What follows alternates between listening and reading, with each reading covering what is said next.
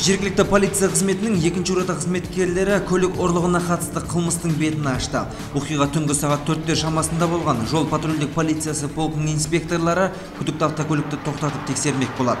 Бірақ опельді басқарған жүргізуші қаша жөнелді. Соңынан 752 жүз елу автоэкипаж қызметкерлері түседі.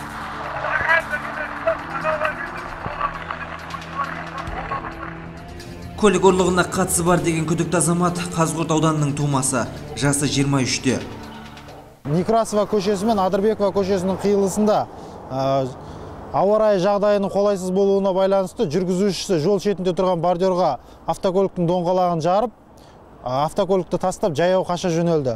Артынан біздің қызметкерлер дер кезінде қызмет жасап жаяу жүгіріп ұстап тексеру барысында аталған опель вектор автокөлігі шымкент қаласы ордабасы алаңында алаңындағы үйлердің ауласынан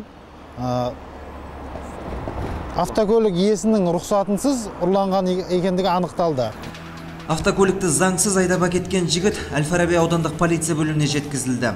Тергеушілердің мәліметінше ол алдында сотты болған екен. Қазір ұрлығы автокөлік айғақтық зат ретінде тәркіленіп алынды. Жақын арада иесіне қайтарылады. Сотқа дейінгі тергеп тексеру жұмыстары жүргізілуде. Шымкентте түскі уақытта шамамен сағат 14.30-да тәуке хан даңғылы мен дулати көшесі қиылысында ірі жол көлік оқиғасы тіркелді. Мұнда некси мен hyundai автокөлігі соқтығысып қалады. Некси жүргізушісі кеңбаба саябағы жағынан тәуке хан даңғылының бойымен жүріп келген. Нексиде сіз болдыңыз ба? Тәуке ханнан келіп жатырсыз иә мына жақта телефон? Общем қайырлы машина бүйтіп өту керек еді ғой иә иә мына мені өткізу керек еді да аяқ бұртар ескі тұрып бұл жол тағылып қалған сіздің артында отырған ба еді пассажир иә артында отырған. Қатты соққыдан нексиде отырған жолаушы азаматша алдыңғы орындыққа басын ұрып жарақаттанды.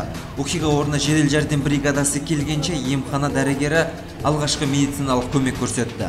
Кейіннен оқиға басына келген жедел жәрдем бригадасы жарақаттанған азаматшаны дереу ауруханаға кететін болып шешті.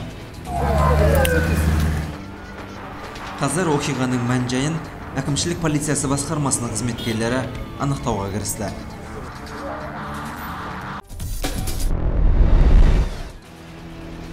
Тәуке хан даңғылы мен қонаев гүлзара қиылысында үш автокөлік соқтығысып қалды. Ваз 21014 део леганзе және некси оқиға түнгі сағат 11-лер шамасында тіркелді. Үш жүргізуші де бір бағыттан жүріп келген.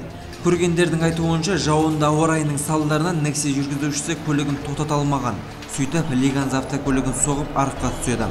Ал леганз автокөлігі алған соққыдан жанындағы ваз автокөлігін түрткен.